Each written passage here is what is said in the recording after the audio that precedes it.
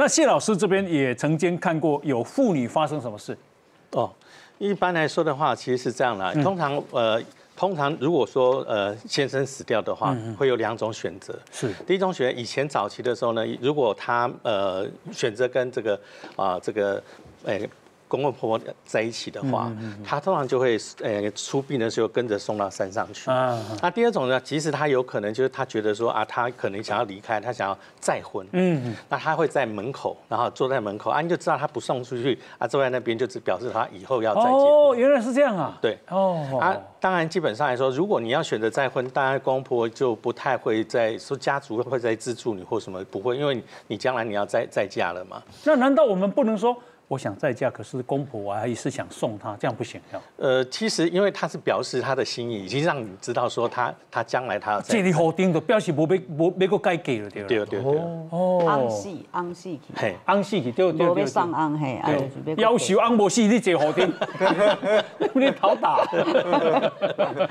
然后当然基本上，如果如果你是选择那个话，家族就会说啊，稍微照顾你嘛，因为有时候孤儿寡母是总是需要人家照顾。嗯。可是结果后来呢？这这个案例比较特殊，是说她的先生死掉之后呢，这个女生她就表明她要再嫁了嘛。哦。啊，再嫁之后呢，通通常如果你再嫁的话，那你就是跟着后来结婚的先生。他结婚之后呢，就一嫁嫁出去八年以后，嗯，突然间知道说，哎，那个家里头那边有钱，而且他们在分财产。嗯哼。结果这个女生带着现在的老公，嗯哼，回来说她要分财产。哎，可以吗？所以是哦，可以啊。所以在下还是可以再分财，因为是，因为他在先生过世的时候，他还是太配偶，他还没有再嫁，是因为他们那时候没有把遗产处理好。嗯，他去嫁人之后，可是没有处理好的时候，他没有影响到他的权利，所以他可以，他之后再嫁，可当然可以跟他先生，哎，不要管新的先生了，是原来那个先生，他过世的时候，他就是他配偶。还没有分好了，财产没有分好，法律上财产没分好，所以他权利还在啊。他就好像说房子没过户，都是他先生名字，啊，他最后面不管过几年都回来，哎，我就要把它办成我的名字一样。所以没有处理好，后续他会真的会像这样子，再婚之后再回来分。是哦，对，长知识。哎，他不是我们家的人，他是从外面娶进来的啊。这样儿子也死了，那现在又去改嫁了，这样还可以分财产？对，对，就是所以说今天。感情上是这样了，嗯，可是有时候感情还是要活在活在法律里面，法律上先想哦，法律上原来他是，所以他在嫁之前或者说办还要把他办一办签一签，哦，这样就不会有事，他可能没有签好的了解。而且他嫁出去八年回来之后，其实所有的人都反对了，因为大没有人都就你都嫁出去，按你现在先生居然敢带你回来要要钱，所以其实所有人都反对，而且觉得你凭什么要回来要？这么假干呢？哈。哎，高高高兴，哪里你敢讲？我唔讲，我唔这么过。我下庄公嘅阿弥陀佛，呃，感谢主。开始就举例啊，你敢讲？我如果我敢呢，因为我律师。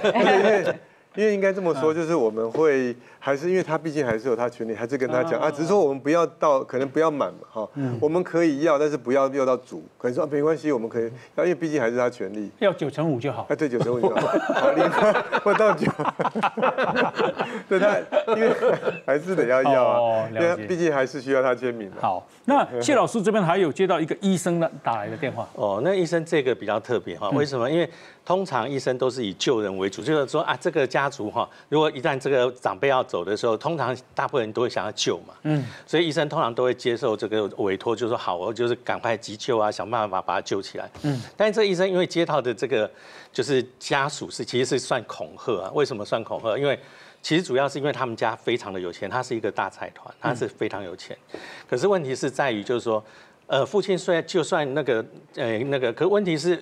问题是，如果啦，父亲没有过世，啊，这次如果把他救起来的话，他们想说，这下又救起来，要是活个十年，他十年分不到财产，好可怕。然后你知道他那个儿子啊，就直接恐吓医生，他就意思说，你如果敢救他啊，你也也搞不好你就出，你也不要说出去碰到什么事情。嗯。那医生又想，如果你敢救他，我跟你讲，我知道你车号哦。对，有有类似这样，对，类似这样。哦，我知道哦，你你女儿读哪里？我知道。对。啊，那然后他就想，哎，人家大财团，我真的为了要救一个人，然后得罪他嘛？然后他说，老师，那怎么办？啊，我如果不救他，对不起我的良心。所以他说，那那有没有什么方法？我说，那不然的话，其实说真话，哎，其实你真的救他起来，这个将来这个餐，你这些跟你可能都完全没有关系。你反呃，你可搞不好接下来就有一堆麻烦。嗯，我说不然的话，你跟他讲一下，他就去跟我说，你就跟他讲，你就说不好意思，因为真的是我现在是因为你的儿子那个啊，如果说你要是有那个话，你回去去给他看看怎么样跟他们讲。好啊，这个这个当然后续怎么样，我我是不知道，因为。他当时其实这个医生非常的担心啊，呃，为了这个财产，兄弟之间居然怕爸爸多活几年，他们对太可怕了，对，好恐怖 呀。那谢老师有看过人家办头七法会，家人就打起来了。哦，那这个就是基本上就是因为财产分配有有有人觉得不公平。嗯，那其实呢就这样，因为他大儿应该说大媳妇了哈，大媳妇就是说觉得说啊，这个几个姐妹通通都回来分嘛啊。哎，本来应该他会觉得说，是不是都哎都是他在他们在照顾妈妈，那个这个钱应该都是要分给他们家里头。嗯嗯。可是问题，因为几个姐妹，三个三个大小姑，嗯，通通回来又要分，然后呢，在办的那个过程中呢，可能诶有时候真真的就是说，有时候大小姑有时候比较直接嘛，就比如说哎怎么样，那个没有做好，那个没有做好，他其实就跟跟着就不愉快了，不愉快，结果后来呢，又又因为现场。又因为这个所谓的讲到财产的问题，他说啊，你们你们照顾从来没有照顾，分钱就通通都跑回来。那这这个不开口就没事，一开口，哦两两边就开始凶起来，凶到最后呢，直接在那个偷窃这个现场哦，就直接打起来了。那那那个时候那个法师在，你知道法师有时候他们受那个阿法师在念，哎啊糟糕打起来怎么办？现在我要继续还是什么？然后最后法师最后选择低头。继续念，继续念他的经，不要去去那个。那那个是他爸爸还是他妈妈？死者啊，死者是爸爸，爸爸是爸爸。那爸爸那时候会怎样？爸爸其实没有，因为他主要是爸爸一定说爸爸好啊，好啊。但是我我有一个学长退休了去开安养院啊，啊伊家家己。安养院内面一个老老兵，嘛嘛是公家机关的，也也是人家十八趴，那个时候十八趴，你一辈子的，嗯，一个差讲的啊，啊，跟他植物人呢，因囝讲你袂使甲甲班讲，其实死啊啦，啊，因为有十八趴，对，甲我迄个学长死啊，迄个过在遐内面，嗯，我我学长死掉了，死啊，被那个被那不不不，我的学长开那个长照的那个死掉了，他儿子在接的时候，那个那个老公务人员还在。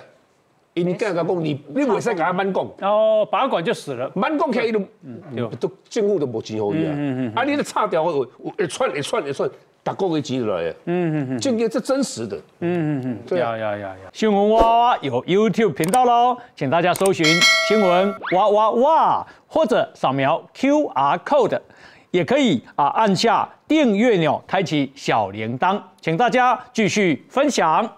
受欢迎的命理大师，现在都在命运好好玩开运服务，包含神准算命、开运商品、开运秘法，请上网搜寻命运好好玩。